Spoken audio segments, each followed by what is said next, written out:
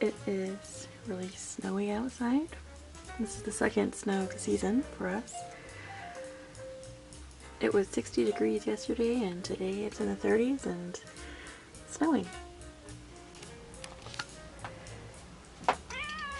Miss Kitty, if you're cold, that's not the place to be.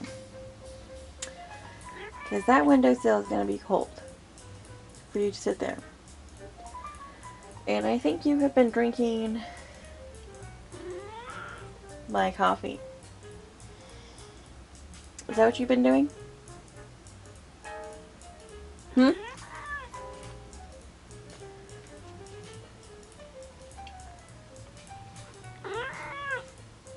Have you been drinking my coffee?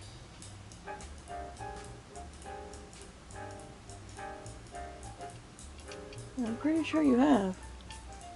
I don't think I was that messy the last time I took a sip from it. It was all you.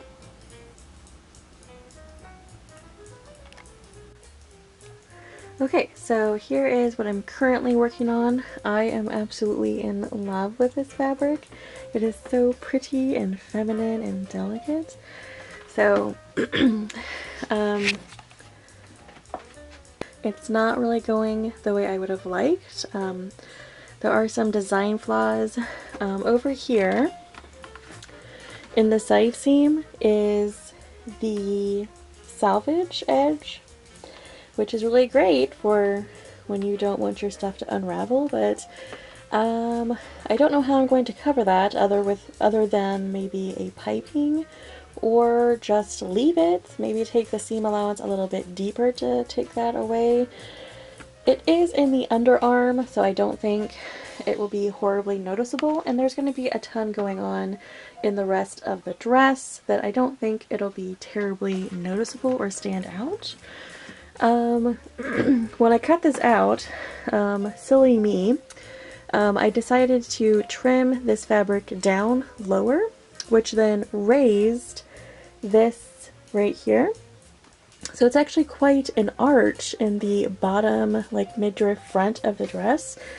And the midriff front panel is not actually as pointed as this and I don't have any more of this fabric to recut the midriff front from so I'm thinking that whatever fabric I can get on the midriff front as it is I will do but I may have to put like a little facing on this and finish this raw edge right here and have it be like a little a little keyhole that's open right there in the midriff front so something like that like a little keyhole and then the mat in the back, I think it'll match, you know, the keyhole sort of theme. So back here, um, I actually hate having to do and undo these uh, types of buttons. And I certainly don't like having to rely on my husband to help me with this. Not that he ever complains, and he's always happy to do so, but I just don't like not being able to do them myself. So I'm actually going to sew this permanently closed and then just put the buttons on and loop the buttons and it will be a permanently closed button closure. And I've made this dress before with the center back of this closed and it is not a problem to get in and out of the dress. So it's actually pinned right here and all the way this way because I was having trouble with the front and I needed, you know, to put it on the mannequin to see if I could work out some bugs and stuff. I'm extremely happy with the way it looks. It is so sweet and so feminine and that little that little keyhole or vent in the back will be very very light and summery. Um, again, my other dress that I have of this I, I absolutely love and it took me forever to finish that other dress because I was so fearful of this keyhole being so revealing um, that I was worried about it. So um, I need to finish the armholes with the armhole facing and do some other work to it but I'm hoping that this arch here will work out in my favor. If not, I may have to either, like I said, do the keyhole trick or maybe even insert a piece of fabric in there to cover it. Um, this is a, a dress that I maybe am planning to wear to church in the summer. If we start going more consistently or regularly to church um, and I don't want it to be horribly inappropriate to wear to church. So the um, keyhole back may be inappropriate. Um, I may have to wear like a white tank top or just to cover that uh, keyhole in the back. So um, that's as far as I've gotten on it. I do plan to put some buttons on it. They're actually over here So I have some larger buttons that I'm going to put down the center front. I will insert a picture of what that is. They're pinned on there, but I'll insert a picture of what that looks like.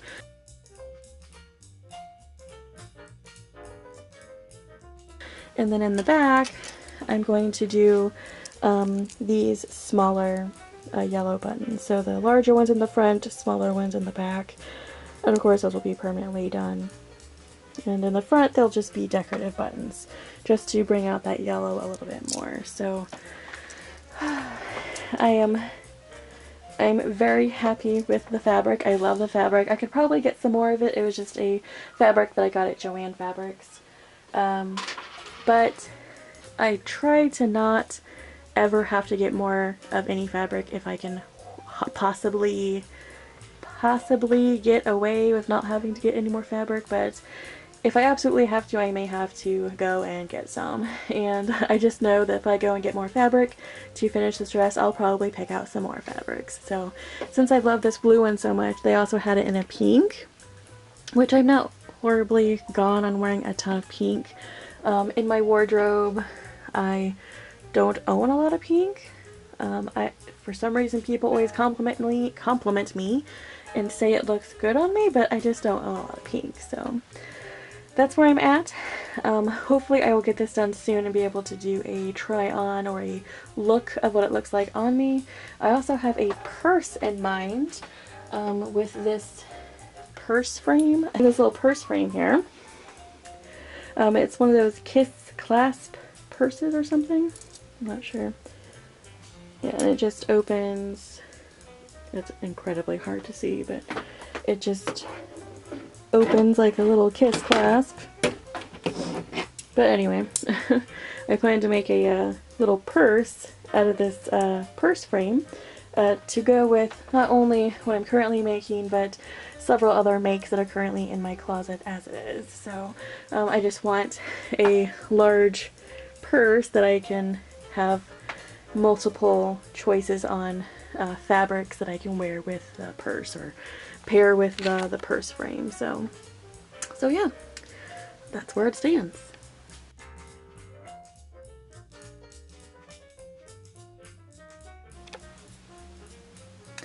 Yay, it's finished. I am very pleased with it. I don't want to stand in the light here. And the cat yeah, it was not hard to make at all. It's very simple. Um, it's currently on the mannequin, but um, I could wear it with or without a petticoat. That's what I really like about it. So on the back, I can adjust this one-handed. Apparently I have a little bit more of a booty than the uh, mannequin does, but that's alright. Um, the buttons are here in the back. And they're uh, elastic looped buttons and I'm very happy with it. It doesn't look like much on the mannequin, but I do really like it on, so I'll have to put it on and see if I can do a couple of uh, little twirly-doos or whirly gigs or twirly twirlies, a couple twirls in it so I can see what it looks like on and how it moves. Um, and I'll also insert some still pictures or still shots of it. But that's it. And over here, which I took it off the mannequin, is actually the mock-up for the next project. So yeah, I'm already working on the next one.